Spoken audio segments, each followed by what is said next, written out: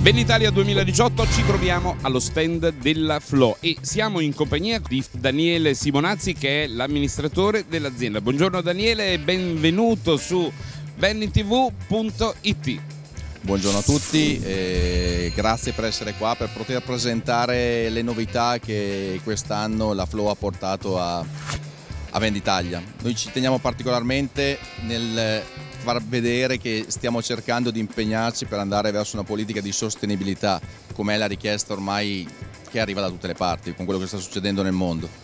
Ecco, allora, intanto prima di parlare dell'impegno verso la sostenibilità di Flo, diciamo in che modo sono occupati gli spazi nello stand, perché vediamo che oltre ai bicchieri ci sono tante altre cose. Sì, eh, Flo negli ultimi anni ha diversificato tantissimo, è passata da un'azienda da bicchieri in plastica a un'azienda che ha bicchieri in cartoncino, eh, filtri dell'acqua, mi dimentico qualcosa, e capsule per il caffè. Giusto perché il nostro scopo è quello di dare sempre di più un servizio nel mondo del vending, che non può essere solamente con un bicchiere, ma un, un servizio il più possibile a 360 gradi.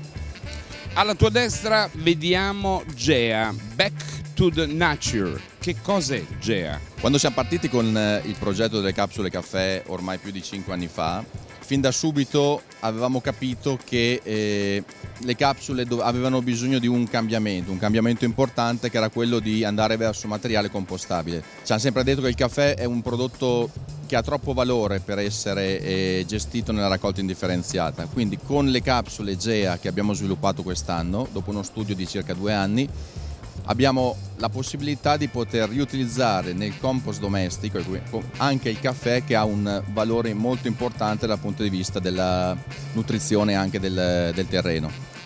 Quindi la capsula GEA eh, che lanceremo, abbiamo già lanciato ma uscirà verso la fine di quest'anno, darà la possibilità di chiudere il circolo delle capsule caffè, un mercato in grandissima crescita che ha bisogno di eh, un fine vita anche per i suoi prodotti, prima che qualcuno, come sta già succedendo, inizi a eccepire sul, sul suo valore.